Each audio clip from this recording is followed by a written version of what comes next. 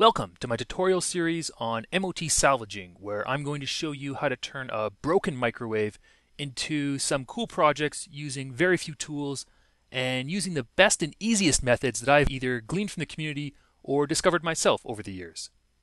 Most of you are watching this because you came here looking for it, but for those of you wondering what use anyone would have for this, anytime you have a project where you need a big transformer, they're expensive. 50 bucks, 100 bucks or more. So they're a significant portion of a project's cost. In fact, some projects, almost the entire project, is just a transformer.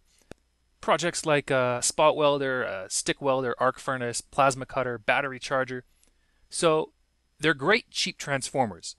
On top of being transformers, you can also use the cores as the base for inductors, ballasts, chokes, and other typically expensive big components. So, speaking of cheap, never pay for a microwave to salvage. A broken one is fine, and you can find them everywhere. Keep an eye out on garbage day, at the dump, at recycling centers, or put an ad on FreeCycle asking for broken microwaves. If you live anywhere other than a small town, you'll get replies right away. Appliance repair shops might set some aside for you if you ask nicely, or as a last resort, you could buy a microwave secondhand. This video is part one in a series, and it deals with the tearing down of the transformer. In following tutorials, I'll show you the process for reassembling, as well as cover some specific and easy standalone projects. So in this video, we disassemble the microwave itself to get at the transformer, separate the transformer's core into two blocks, remove the coils and the shunts from the core, and clean it up so that it's ready for the next phase. Let's get right to it. So the first thing you're going to need is a microwave uh, like this one. Any microwave will do as long as it doesn't say that it's an inverter microwave. Flip it on its back, and then go ahead and take apart any of the screws that hold the outer metal frame to the inner frame. And when you're done, flip it on its front face so you get the screws underneath. Then also take out those screws. Now to get inside of it, you just have to yank on the outer metal shell, uh, wiggle it free. Sometimes it doesn't want to come, just give it a yank until it comes off, and then you can toss that aside. And here's a look inside. There's the transformer, that's what we're after. You can also see the capacitor, the magnetron, a bunch of other stuff. It should be discharged already after a few minutes. Uh, most of them will be, but you want to take a screwdriver and make sure you short the terminals in the capacitor, otherwise you get a 2000 volt shock. Make sure you short them a lot. Now that everything's safe to touch, you can disconnect the transformer. Uh, there'll be four or five wires. You can usually use a pair of pliers to disconnect them, or if you don't feel like doing that, just leave it a couple inches and cut the wires. And once you're all done, just flip it over. Usually it'll be attached with four bolts at the bottom. Sometimes they're Phillips screws, sometimes there's a mounting bracket. Just figure it out. If you don't own a ratchet, you can use a pair of pliers. Just make sure you squeeze tight. But it's much easier to use a ratchet. And even easier than a ratchet is a drill. For the last one, it's important to remember that there will be nothing else holding it, so you'll need to hold it with your hand, and it's quite heavy. And there you go. Now the transformer's out. You can take the rest of it and toss it aside for now. You might want to pull a few more things out of it, the power cord, the fan, a few switches, but right now that's all we need. And just to review what's inside a transformer, we have a secondary made of very thin wire. We have a primary made of thick wire. We have a few turns of some other wire, and we have some magnetic shunts at the top and bottom. Now, the way everyone else does this, which I think is the much tougher way, is they take a chisel and then they, they hammer off the secondary, and then they get something like that. And then once that's torn off, you have a flat side. And then you take a punch and you punch those out, until they're gone, and then you have an empty transformer, and then you thread your new secondary through it all the way back and forth every single time. I don't like that way. Now, a transformer is made up of E pieces and I pieces. And in a microwave oven transformer, they're stacked together rather than alternating. There's a big E piece, there's a big I piece.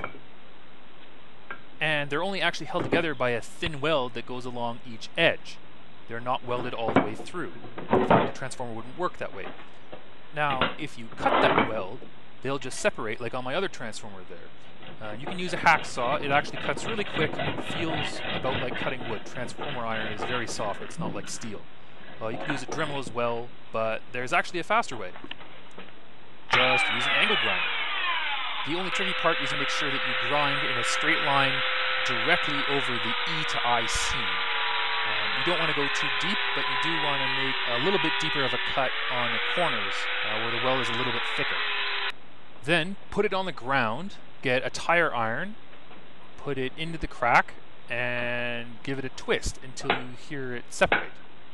There, you can see the gap. Uh, if you don't have a tire iron, you can use a screwdriver, or you might have to use a block of wood and hammer on it at an angle. But once you get the crack, then just pry it open a little bit until it's all the way open. Then put it on a table and you can finish it by hand. And here you can see just how thin those welds are. They're a 16th of an inch thick at most. And now your transformer frame is marked. Now we have to take off the primary and the secondary. And you can do this cold with a knife and try and sneak it between all the edges but it's easier if you do it hot and you can either heat it up in an oven or a toaster oven for about a half hour on a low setting or you can use the heat loss of the actual transformer itself as a heater. To do that, put the transformer back together and then hold it together using some rubber bands, clamps, zip ties, whatever you have available.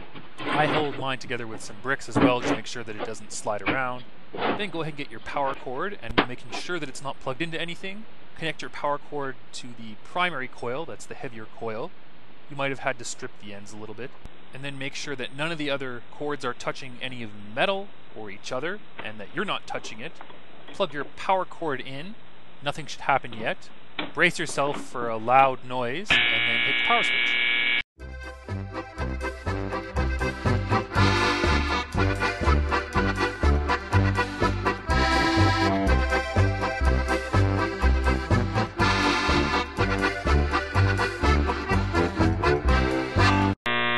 Shut off the power bar first, and unplug it second.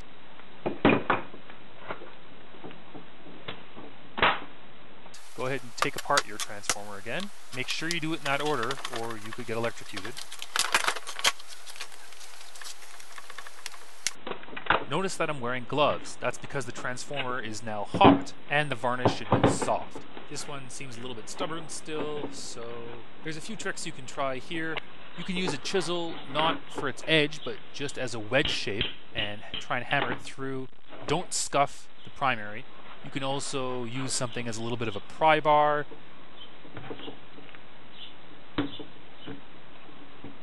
Now that the varnish is soft, you can use an X-Acto knife and it should run a lot easier. If you tried it before when it was cold, uh, this is a lot easier now. Sliding it down the outside, you don't need to go very deep. Be careful when you slide it down the inside as when you overshoot it's going to gouge the coil.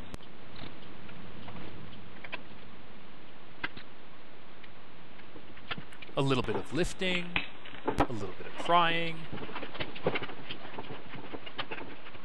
and there we go, it's out.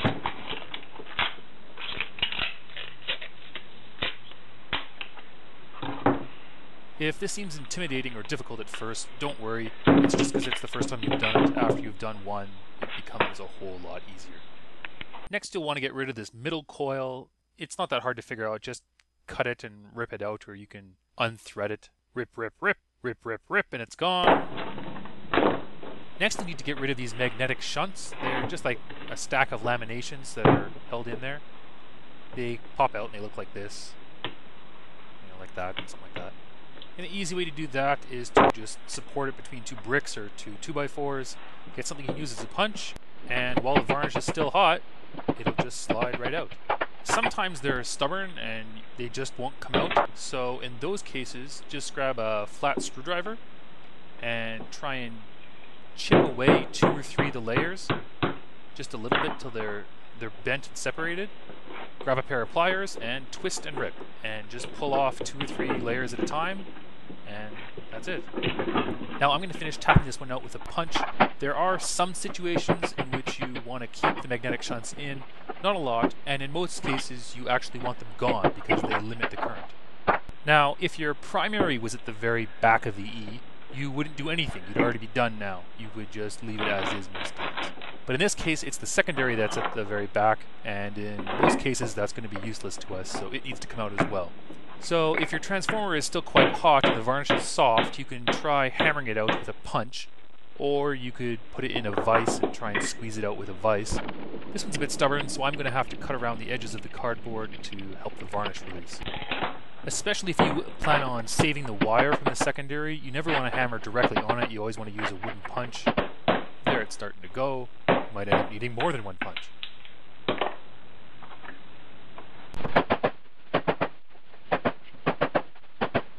Finish it off by elevating it again.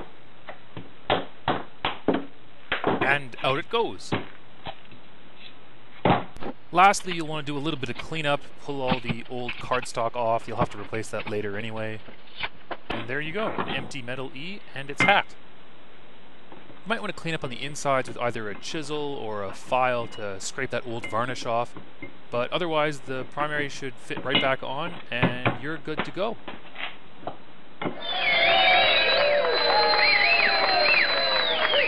Bravo!